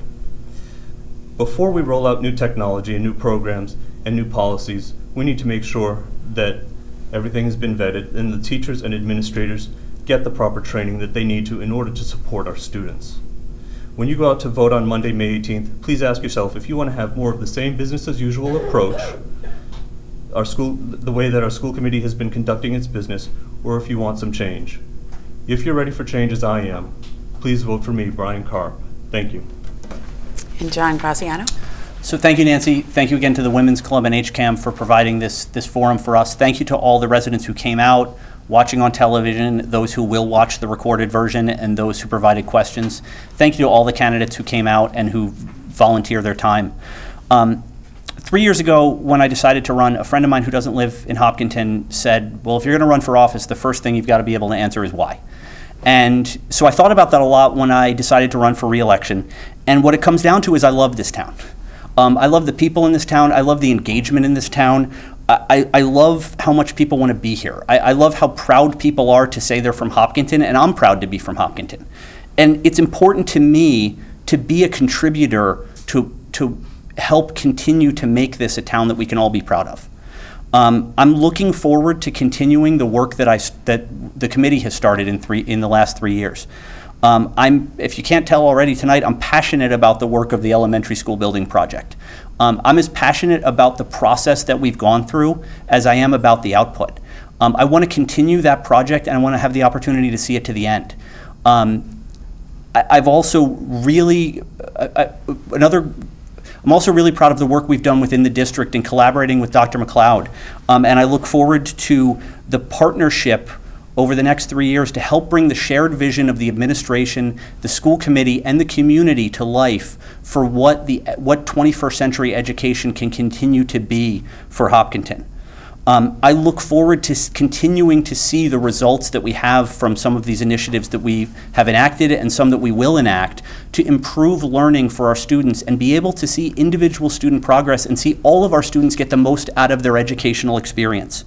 Um, and I look forward to seeing the, the financial results of those initiatives because I fundamentally believe they will reduce our costs over time. Um, I, I thank you again for your time. I thank you for, for your support over these last three years, and I respectfully ask for your vote on May 18th. And Jean Bertschmann, candidate for school committee? Okay, well, and again, I would like to thank the Women's Club and HCAM uh, for making this evening possible, and Mrs. Clark for hosting every year, um, and balancing all the juggling that, that we do up here. Um, I would like to thank Mr. Karp and Mr. Graziano for an enlightening debate, and the audience for some very illuminating um, questions, so thank you all. Community engagement is clearly a vital part of what make- what makes Hopkinton such a special uh, place to live.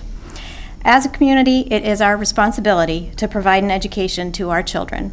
Our town was founded by Harvard to support the education of young students. 300 years later, families still move to Hopkinton because of the wonderful character of our community and the strength of our educational system. I'm enormously proud of the value that the school district continues to provide the town in terms of a high quality education at a reasonable cost to the taxpayers, and I truly appreciate the continuing support that the town gives to the schools. It is a collaborative effort, and I feel that we've made tremendous strides by working together. And as a volunteer focused on the education of our students, I would be remiss if I didn't close by imploring you all to educate yourselves on the issues and on the candidates. Take advantage of programs like this offered by HCAM. There are multiple um, opportunities over the rest of this week to find out about the issues facing us at town meeting. Pick up your book at town uh, at town hall and read the warrant articles. Prepare your questions and get them answered before you get to town meeting or on town meeting floor. Please attend the town meeting and the elections and let your voice be counted. Please join me in voting to support Article 43, which is to purchase the Irvine property to house a replacement for the center school, and to support the school committee's capital articles, which are Articles 23 through 28.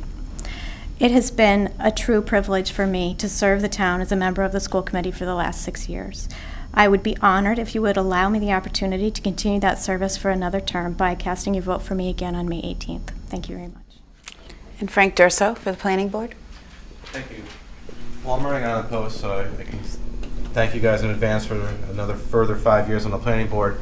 Um, I want to invite you all to a cleanup day we're doing, a green up day. Uh, I think that you're co-hosting it, right? Uh, the Sustainable Green Committee is doing our sixth or seventh year of the green up.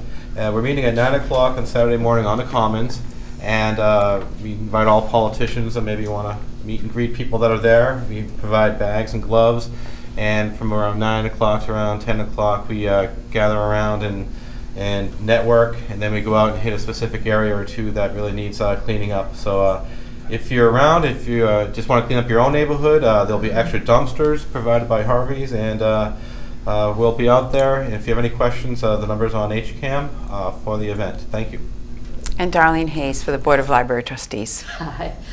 I get to wrap up, and um, I think this panel's cool. Um, and they're all community givers, and I think over and over again I've heard them talk about education, information, communication. You know where you can get all that? At the library.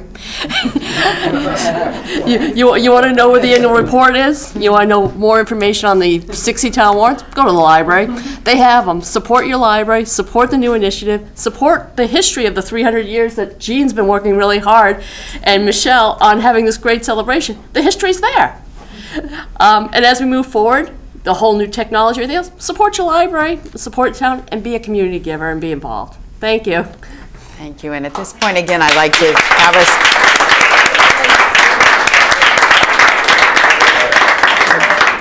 Good round of applause. Thank you. On behalf of the Hopkinton Women's Club, I would like to extend a special thank you to the candidates who participated in this event tonight, and to our studio audience and television viewers for joining us this evening. I also want to acknowledge the HCAM TV staff and crew for making this broadcast possible, and the Women's Club members and high school students who volunteered tonight.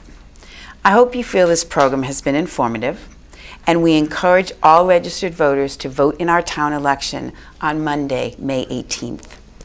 All Hopkinton precincts vote at the middle school between the hours of 7 a.m.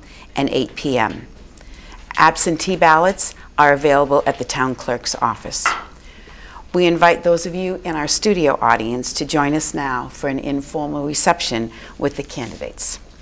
Thank you and good night.